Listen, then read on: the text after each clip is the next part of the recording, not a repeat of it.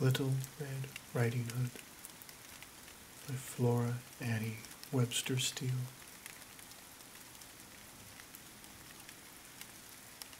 Once upon a time, there was a little girl who was called Little Red Riding Hood because she was quite small and because she always wore a red cloak with a big red hood on it, which her grandmother had made for her. Now, one day, her mother, who had been churning and baking cakes, said to her, My dear, put on your red cloak with the hood on it, and take this cake and this pot of butter to your granny, and ask how she is, for I hear she is ailing. Now, Little Red Riding Hood was very fond of her grandmother, who made her so many nice things. So she put on her cloak joyfully and started on her errand. But her grandmother lived some way off, and to reach the cottage, Little Red Riding Hood had to pass through a vast, lonely forest. However, some woodcutters were at work in it. So Little Red Riding Hood was not so very much alarmed when she saw a great big wolf coming towards her, because she knew that wolves were cowardly things. And sure enough, the wolf, though but for the woodcutters, he would surely have eaten Little Red Riding Hood, only stopped and asked her politely where she was going. I am going to see Granny. Take her this cake and this pot of butter, and ask how she is, says Little Red Riding Hood. Does she live a very long way off? asks the wolf craftily. Not so very far if you go by the straight road, replied Little Red Riding Hood. You only have to pass the mill, and the first cottage on the right is Granny's. But I am going by the wood path because there are such a lot of nuts and flowers and butterflies. I wish you good luck, says the wolf politely. Give my respects to your grandmother and tell her I hope she is quite well. And with that he trotted off. But instead of going his ways, he turned back, took the straight road to the old woman's cottage, and knocked at the door. Rap, rap, rap. Who's there?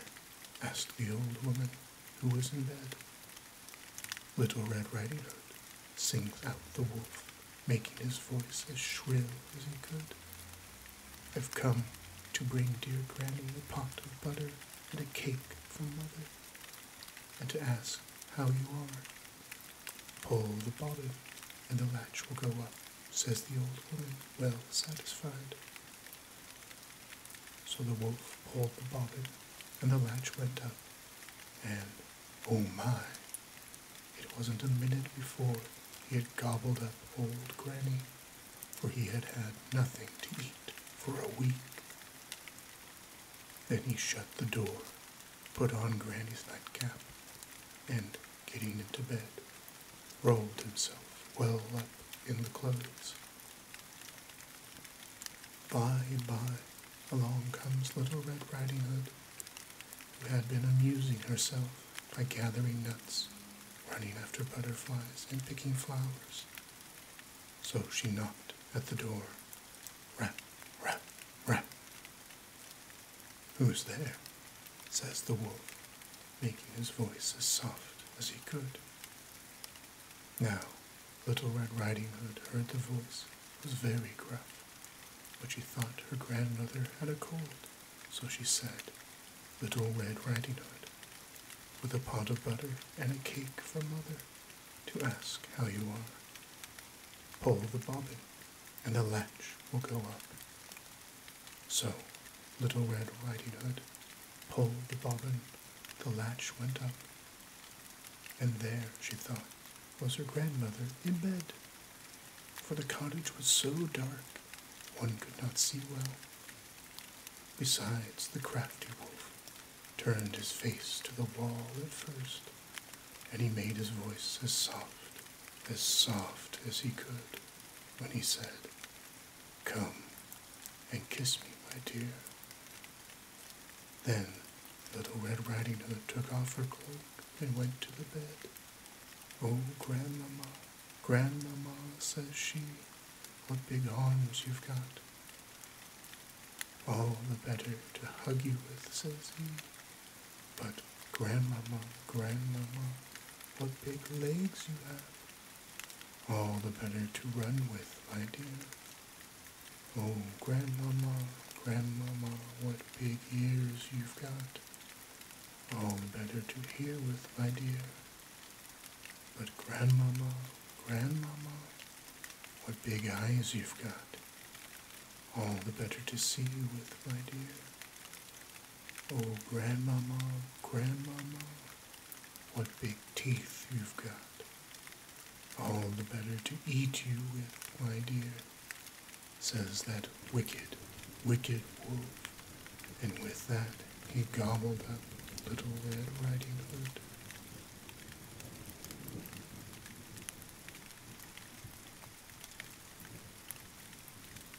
The Babes in the Wood. Now ponder well, you parents dear, these words which I shall write. A doleful story you shall hear, in time brought forth to light. A gentleman of good account in Norfolk dwelt of late, who did in honor far surmount most men of his estate. Sore sick he was, and like to die, no help his life could save. His wife by him as sick did lie, and both possessed one grave. No love between these two was lost. Each was to other kind. In love they lived, in love they died, and left two babes behind. The one a fine and pretty boy, not passing three years old, the other a girl more young than he, and framed in beauty's mold. The father left his little son, as plainly did appear, when he to perfect age should come, three hundred pounds a year. And to his little daughter Jane, five hundred pounds in gold, to be laid down on marriage day, which might not be controlled. But if the children chanced to die, ere they to age should come, their uncle would possess their wealth, for so the will did run. Now, brother, said the dying man, look to my children dear. Be good unto my boy and girl, no friends else have they here. To God and you I recommend my children dear this day, but little while be sure we have within this world to stay. You must be father and mother both, and uncle all in one. God knows what will become of them when I am dead and gone. With that bespake their mother dear, O brother kind, quoth she, you are the man must bring our babes to wealth or misery. And if you keep them carefully, then God will you reward. But if you otherwise should deal, God will your deeds regard. With lips as cold as any stone, they kissed their children small. God bless you both, my children dear. With that the tears did fall. These speeches then their brother spake to this sick couple there. The keeping of your little ones, sweet sister, do not fear. God never prosper me nor mine, nor aught else that I have. I do wrong your children dear, and you are laid in grave. The parents being dead and gone, the children home he takes, and brings them straight unto his house, where much of them he makes. He had not kept these pretty babes a twelvemonth and a day, but for their wealth he did devise to make them both away.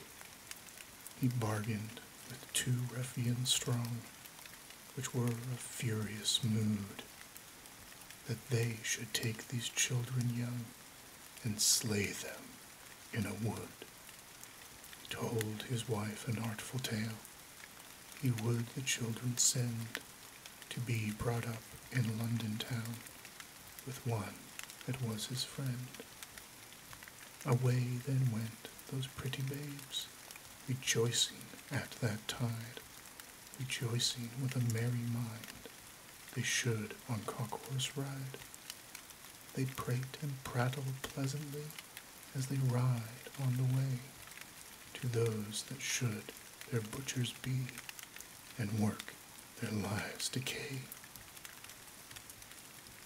So that the pretty speech they had made murderers' heart relent, and they that undertook the deed full sore now did repent.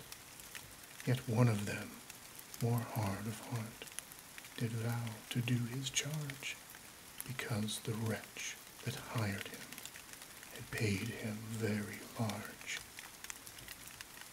The other won't agree thereto, so there they fall to strife. With another they did fight about the children's life.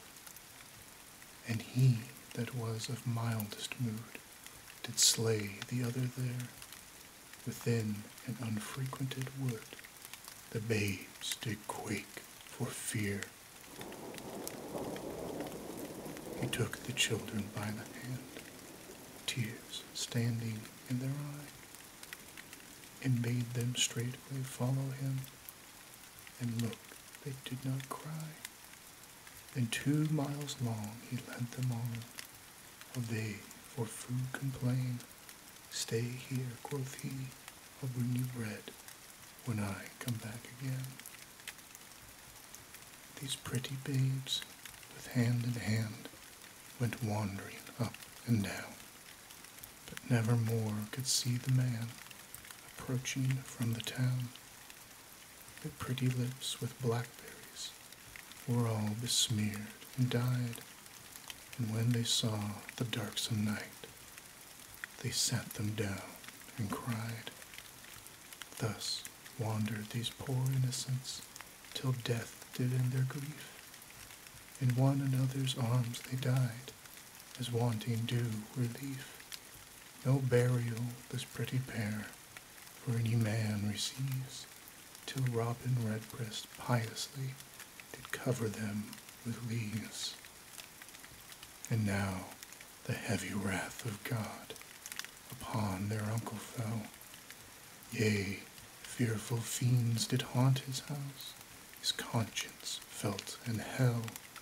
His barns were fired, his goods consumed, his lands were barren made, his cattle died within the field, and nothing within stayed.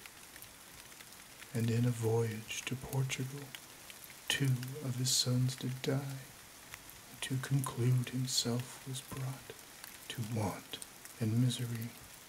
He pawned and mortgaged all his land ere seven years came about. And now at last this wicked act did by this means come out.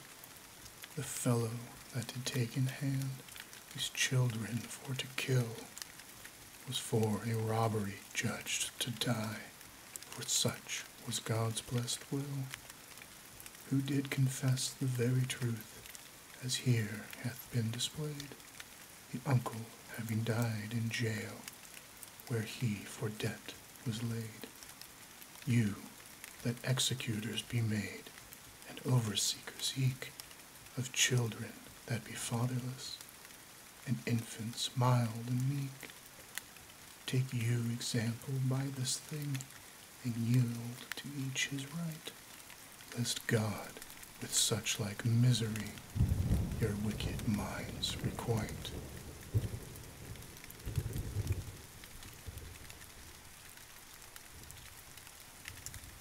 The Three Little Pigs.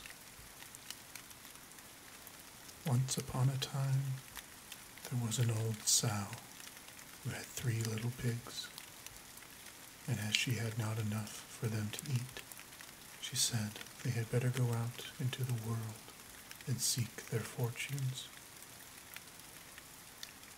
Now the eldest pig went first, and as he trotted along the road, he met a man carrying a bundle of straw. So he said very politely, If you please, sir, could you give me that straw to build me a house?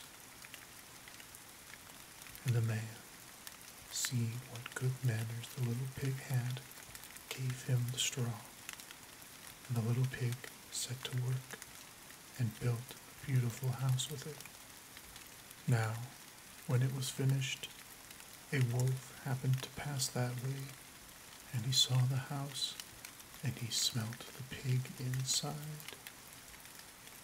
So he knocked at the door and said, Little pig, little pig, let me in, let me in. But the little pig saw the wolf's big paws through the keyhole, so he answered back, No, no, no by the hair on my chinny chin chin. Then the wolf showed his teeth and said, Then I'll huff and I'll puff and I'll blow your house in. So he huffed and he puffed and he blew the house in. Then he ate up little piggy and went on his way.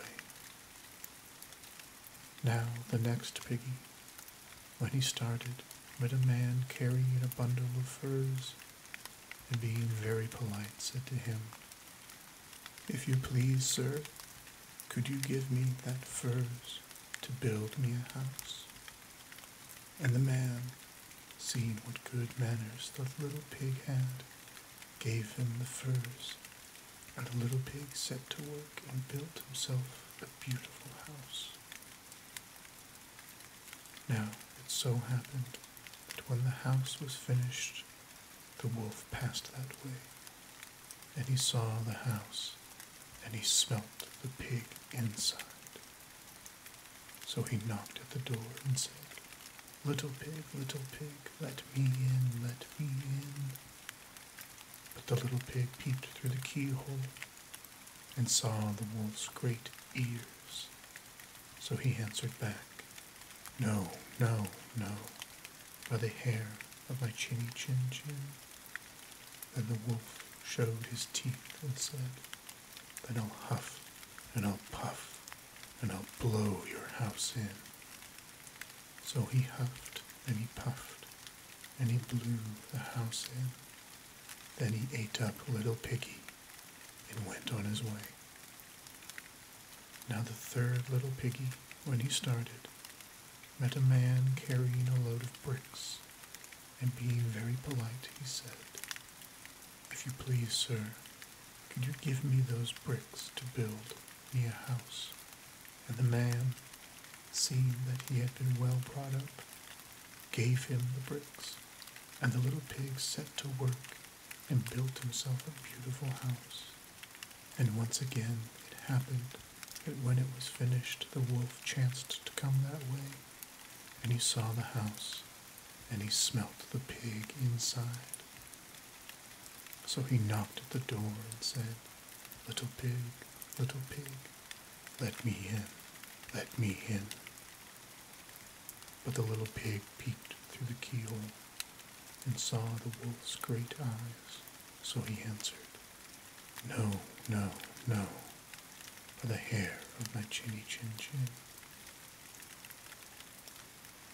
Then I'll huff and I'll puff and I'll blow your house in, says the wolf, showing his teeth. Well, he huffed and he puffed, he puffed and he huffed, and he huffed, huffed, and he puffed, puffed. but he could not blow the house down. At last, he was so out of breath that he couldn't huff and he couldn't puff any more. So he thought a bit. Then he said, Little pig, I know where there is ever such a nice field of turnips. Do you? says Little Pig. And where may that be? I'll show you, says the wolf. If you will be ready at six o'clock tomorrow morning, I will call round for you, and we can go together to Farmer Smith's field and get turnips for dinner. Thank you kindly, says the little pig. I will be ready at six o'clock sharp. But, you see, the little pig was not to be taken in with chaff. So he got up at five, trotted off to Farmer Smith's field, rooted up the turnips, and was home, eating them for breakfast, when the wolf clattered at the door and cried, Little pig, little pig, aren't you ready? Ready? Says the little piggy. Why, what a sluggard you are. I have been to the field and come back again, and I am having a nice pot full of turnips for breakfast. Then the wolf grew red with rage, and he was determined to eat little piggy. So he said, as if he didn't care, I'm glad you liked them, but I know of something better than turnips. Indeed, says little piggy, and what may that be? A nice apple tree in Merry Gardens with the juiciest, sweetest apples on it. So if you be ready at five o'clock tomorrow morning, I will come round for you, and we can get the apples together. Thank you kindly, says little piggy. I will sure and be ready at five o'clock sharp. Now, the next morning he bustled up ever so early, and it wasn't four o'clock when he started to get the apples. But, you see, the wolf had been taken in once, and wasn't going to be taken in again. So he started at four o'clock. And the little pig had but just got his basket half full of apples when he saw the wolf coming down the road, licking his lips. Hello, says the wolf. Here already. You are an early bird. Are the apples nice? Very nice, says little piggy. I'll throw you down one to try. And he threw it so far away when the wolf had gone to pick it up, the little pig was able to jump down with his basket and run home. Well, the wolf was fair angry, but he went next day to the little piggy's house and called through the door as mild as milk. Little pig, little pig, you are so clever. I should like to give you a fairing. So if you will come with me to the fair this afternoon, you shall have one. Thank you kindly, says little piggy. What time shall we start? At three o'clock sharp, says the wolf. So be sure to be ready. I'll be ready before three, sniggered the little piggy. And he was. He started early in the morning and went to the fair and rode in a swing and enjoyed himself ever so much, and bought himself a butter churn as a fairing, and trotted away towards home long before three o'clock. But just as he got to the top of the hill, what should he see but the wolf coming up it, all panting and red with rage? Well, there was no place to hide in but the butter churn so he crept into it and was just pulling down the cover when the churn started to roll down the hill. Bumpity, bumpity, bump. Of course, Piggy inside began to squeal, And when the wolf heard the noise and saw the butter churn rolling down on top of him, bumpety, bumpety, bump, he was so frightened that he turned tail and ran away. But he was still determined to get the little pig for his dinner, so he went next day to the house and told the little pig how sorry he was not to have been able to keep his promise of going to the fair because of an awful, dreadful, terrible thing that had rushed at him, making a fearsome noise. Dear me, says the little piggy, that must have been me. I hid inside the butter churn when I saw you coming, and it started to roll. I am sorry I frightened you. But this was too much. The wolf danced about with rage and swore he would come down the chimney and eat up the little pig for his supper. But while he was climbing onto the roof, the little pig made up a blazing fire and put on a big pot full of water to boil. Then just as the wolf was coming down the chimney, the little piggy off the lid, and plump, in fell the wolf into the scalding water. So the little piggy put on the cover again, boiled the wolf up, and ate him for supper.